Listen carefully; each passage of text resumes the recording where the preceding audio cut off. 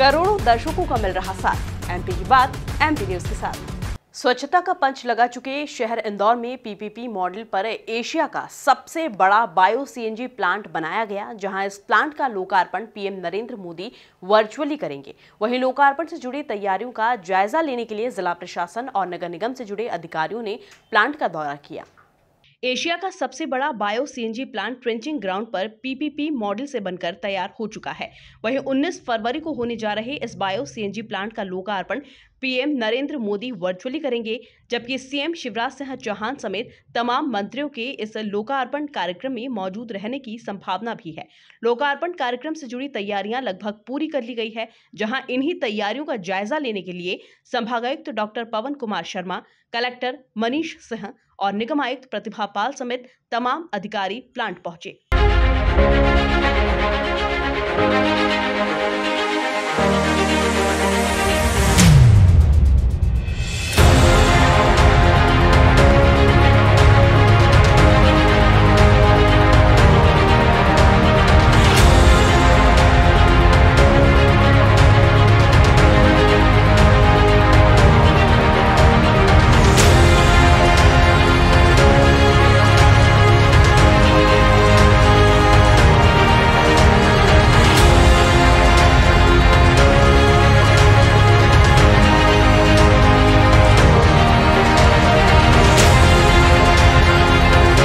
लोकार्पण कार्यक्रम स्थल पर लगभग पाँच हज़ार लोगों के बैठने की व्यवस्था भी की जा रही है, जिनमें सफ़ाई में सहयोग करने वाले समाज सेवी संगठन के लोग भी शामिल रहेंगे। ये जो बायो सीएनजी प्लांट, ये पीपीपी मॉडल में बना है 550 मेट्रिक टन कैपेसिटी का है, जो इंदौर शहर का, जो भी इंदौर के नागरिक गीला कचरा अलग करते हैं, वो गीला कचरा इसी जगह पे आता है और इस बायो सीएनजी प्लांट में जा करके वो बायो सीएनजी में कन्वर्ट होता है। पहले बायोगैस में कन्वर्ट होता है, फिर बायो सीएनजी में कन्वर्ट होता है।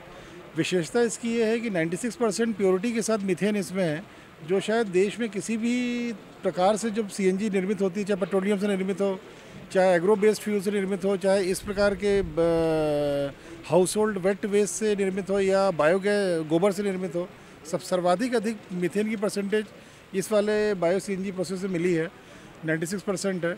उसके कारण कैलोरीफिक वैल्यू बहुत अच्छी आती है इफेक्टिवनेस बढ़ जाती है सीएनजी गैस की जहाँ भी यूज़ किया जाता है। इस प्लांट का जो डेढ़ सौ करोड़ की लागत से बना है एनवायरो कंपनी है government of India ministry of finance की और गवर्नमेंट ऑफ़ यूके वहाँ की मिनिस्ट्री ऑफ़ फाइनेंस की एक जॉइंट वेंचर है। उसमें ग्रीन फंड एक निर्मित हुआ है।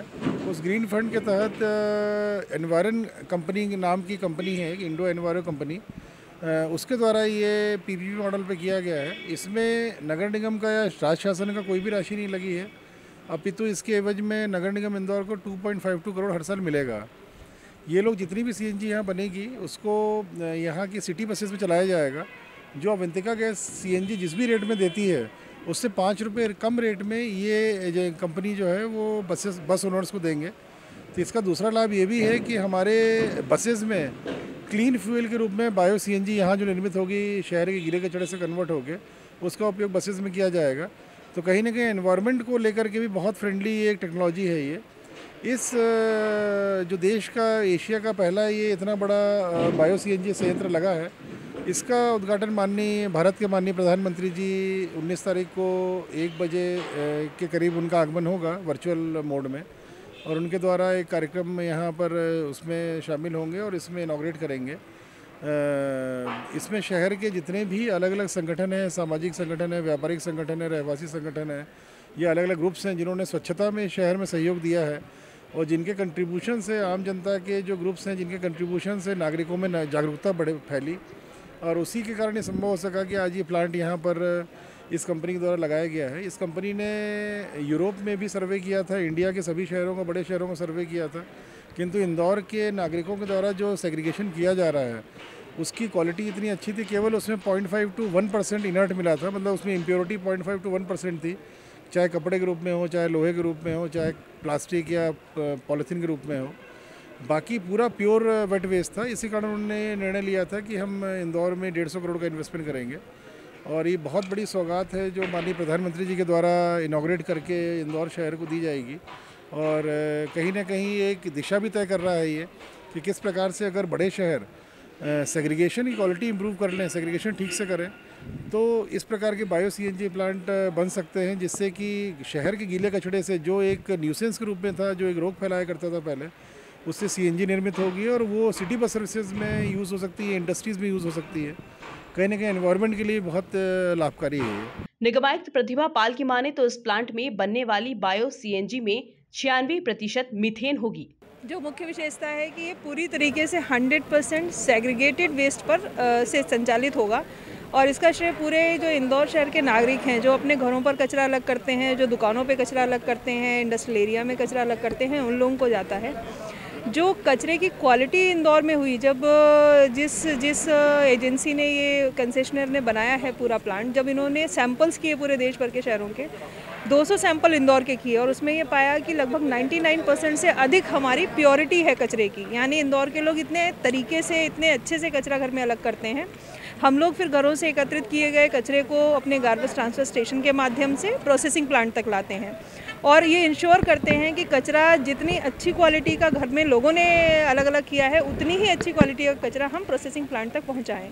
तो इस प्लांट में बेसिकली इस जो ऑर्गेनिक वेस्ट है, उसको स्लरी बना के और आगे फिर डाइजेशन की प्रक्रिया से जो बड़े बड़े हम लोग पीछे ये कंटेनर्स देख रहे हैं, ये एनॉर्बिक डाइजेस्टर्स हैं, इनमें माइक्रो ऑर्गेनिज्म के माध्यम से डिकम्पोजिशन होगा फिर बायोगैस बनेगी और बायोगैस को आगे प्रोसेसिंग करके बायो सीएनजी बनाई जाएगी। इस प्लांट की बायो सीएनजी में एक और ख़ास बात होगी कि जो सामान्यतः सीएनजी होती है, जो सामान्य नेचुरल कंप्रेस नेचुरल गैस होती है, उसमें जो मीथेन का परसेंटेज होता है, वो 90 परसेंट होता है। जबकि इस प्लांट की जो बायो सीएनजी बन के तैयार होगी, वो 96 परसेंट की मीथेन के साथ होगी। उसके दो फ़ायदे होंगे कि जिन वाहनों में ये चलेगी, उनका माइलेज ज़्यादा होगा और जो ग्रीन हाउस गैसेज उत्सर्जित होती हैं, जो पर्यावरण को नुकसान पहुँचाती हैं, उनमें कमी आएगी। कुल मिलाकर देखा जाए तो स्वच्छता का छक्का लगाने की तैयारी कर रहा इंदौर अब एक कदम आगे निकलने को तैयार है, जहाँ पीएम नरेंद्र मोदी जल्द ही एशिया का सबसे बड़ा बायो सीएनजी प्लांट इंदौर की जनता को समर्पित करने की तैयारी कर रहे हैं। Bureau report, MP news, Indore.